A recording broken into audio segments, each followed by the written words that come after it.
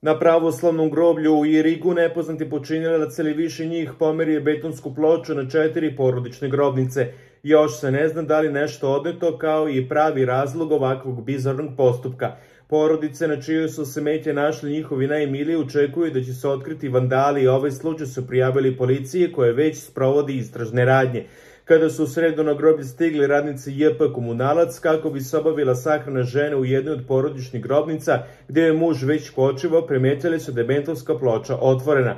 Zatim su ugledali da je šraf od sandoka odvijen i bačan pored, a poklopac smaknut na desnu stranu. Odmah je obaveštena rodbina koja je prema priču sagovornika ovo teško podnela, a nekoliko žena se od šoka i onesvestilo. Pretpostavka je da je neko mislilo da su pokojnici sahranjeni sa novcem ili nekim vrednostima. Možda i sekta misle da samo možemo da nagađemo dok policija ne otkrije. Čovjek koji leže u grobnici bio je imućen, a pričalo se da je imao neku povrdu u ramenu, pa da su mu gradili zlatne šipke. Neki kažu da su od platine.